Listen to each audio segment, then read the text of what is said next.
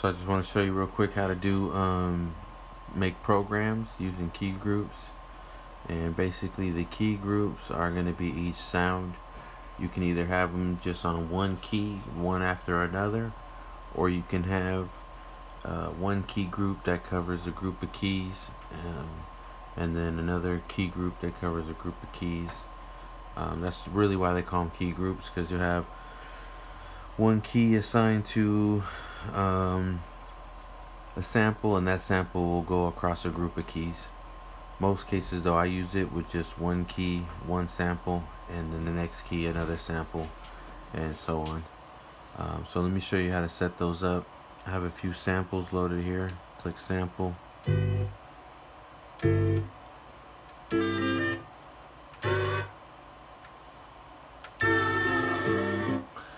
So first thing, the programs are under single or multi.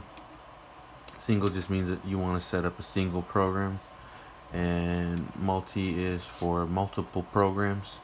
So you can set up maybe this one here I'm gonna set up with all these samples and it's really if I set up a single I'm just good to play um, just those samples I can set up a large single and that's gonna basically um, have just more key groups and it'll be all the samples plus drums and some bass maybe. But that's where really the multi comes in where um, you can set up uh, multiple programs and you can edit them easier just as you'll see when we edit the samples. In the key groups in the single it's the same idea it's easier to edit all the samples in a program and it's easier to edit all the programs in a multi. So that's why they have it set up like that. Um, we're just going to do a single program. So single edit. Now it just starts off usually with your blank program unless you have your setup differently. But when you load the um, system disk it comes with the test program and that's because there's no way to create a program so the system starts you off with one and you make copies of it. Um, so first thing you want to do is you want to go um, to single edit name. This is where you're gonna name it. I'm gonna just name it test one. So let me go back and take off all this. Oops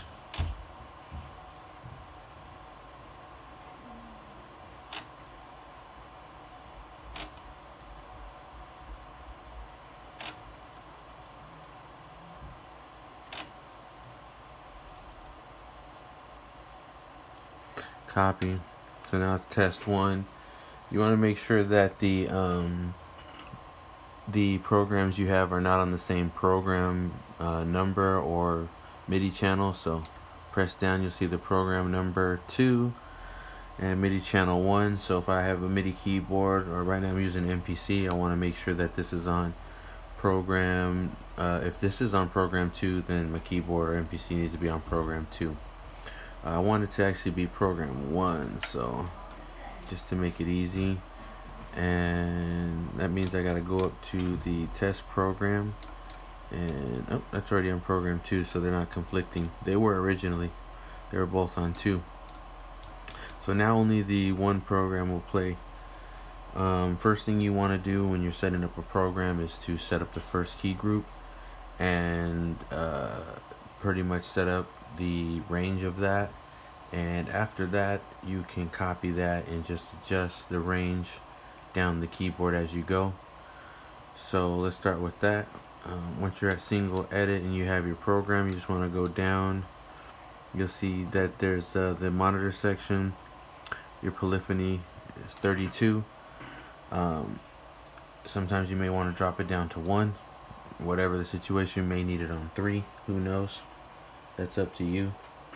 Um, norm priority I'm not really too sure. I haven't gone over that. I just always leave it at normal. Um, down key group crossfade so crossfade so you can actually fade them uh, into each other so they play a little more seamlessly. Mono legato basically is uh, similar to having uh, uh, uh, what's it? Uh, I'm sorry, I'm going blank. mono or uh, single polyphony. Uh, not mono, uh, single polyphony basically, to where only one uh, note can play out each time. So this is where you transpose. This is where you can turn the volume up or down based on the velocity. Then you have your pan, left and right. this is where you have your modulation, your LFO. So we want to go to key groups. So um, it takes a bit to go down to them, but you can use this button to make it faster. Let's see. Yeah, so it's only like four press key presses instead of like eight. But yeah, you want to get to number of key groups. First thing you want to do is press down and set up your first key group. Uh, mine's going to be on C sharp 1. That is actually the first pad of the first bank on it on my MPC.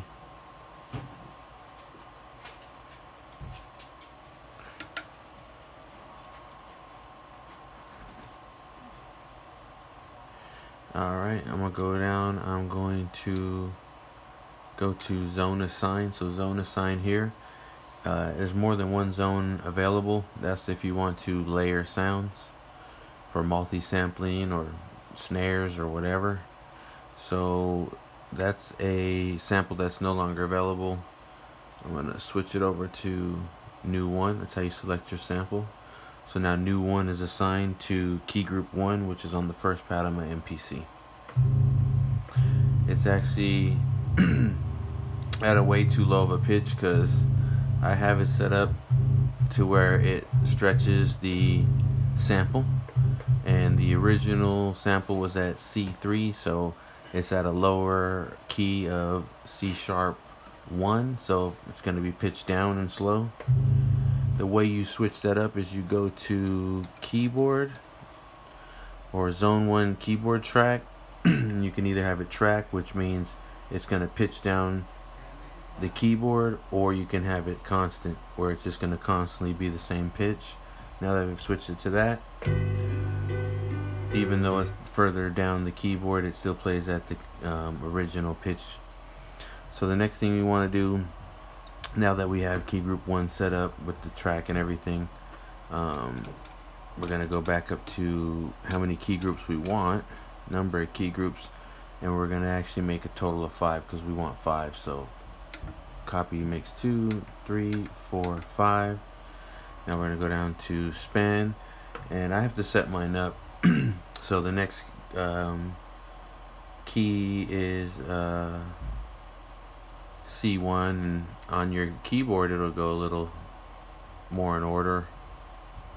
But uh, for me you'll see it goes from C sharp 1 to C1 and then the next one is actually F sharp 1 so I messed up here. It's key group 1 we want that one back on C sharp 1 this outer will move it to key group 2 and that's the one we want on C1 key group 3 is going to be on F sharp 1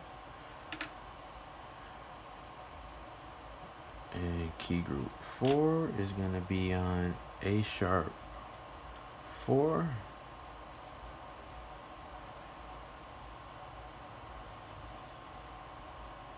is that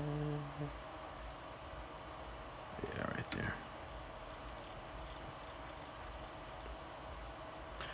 and then 5 is going to be on E1 so let's set up 5 E1 and then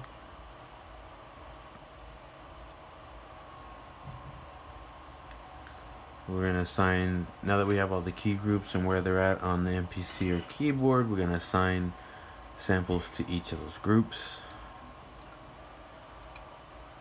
so go back to key group 2 new 2 key group 3, new 3, key group 4, new 4, key group 5, new 5. So now I have all triggering from my MPC and that is the basic um, basic program. That's it. Um, if I wanted to, what I can do is just say key group 5, go back up to span, and key group 5 can go from, let's see here, E1 to whatever, pretty much all of them. Let's do all of them. So now I have just a bunch of, uh, a bunch of uh, all the keys. The whole span is key uh, key group five, but um, they're all the same pitch because I put constant on the keyboard. So let me switch this to track, and now.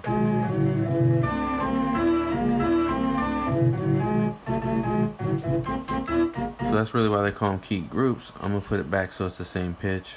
Is because if I wanted to, as you see I did with key group 5, is I made a group of keys all share that sample and then pitch them all across.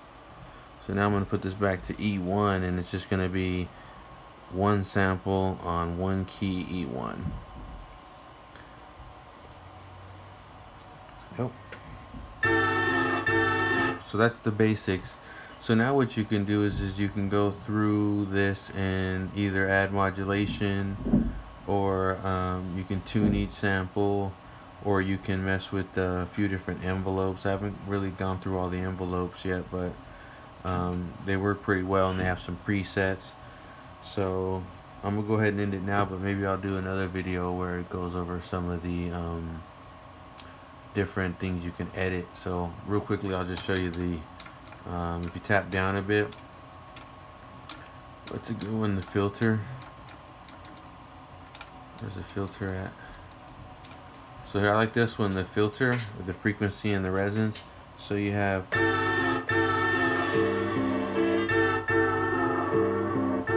can kind of darken it up a little bit if you want to. I never mess with it, but you can use the resonant uh, resonance to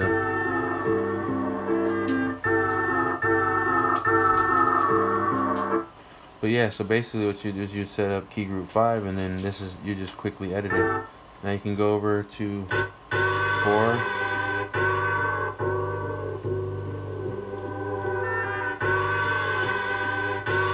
And you can quickly quickly edit all of your samples. Those were the frequencies. Up here was the um, see key group 2 the attack. Then change the attack to key group 3. And then maybe you want to go to key group 4 and take down all the decay and all the sustain.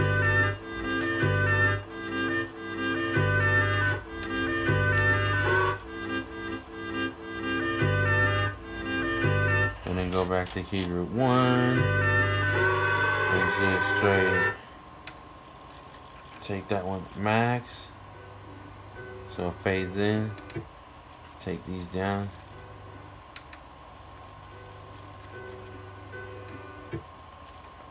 So I just quickly mess with all the envelopes. And there's more stuff here too. Let's see frequency, keyboard track, filter mod. I don't really mess with all these, but let's see, envelope 2, template. So key group 2.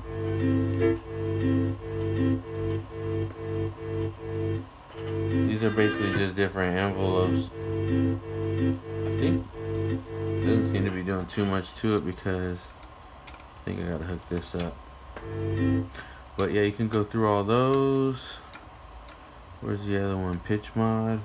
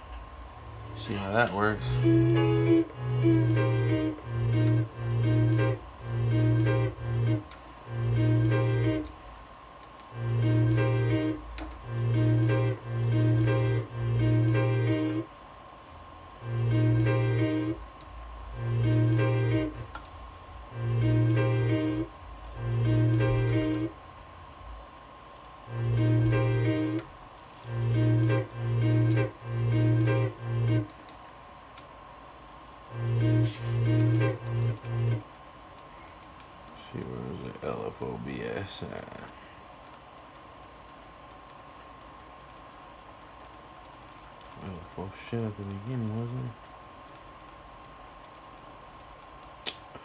Nope, guess not. But yeah, you get the point. You got to kind of go through all that.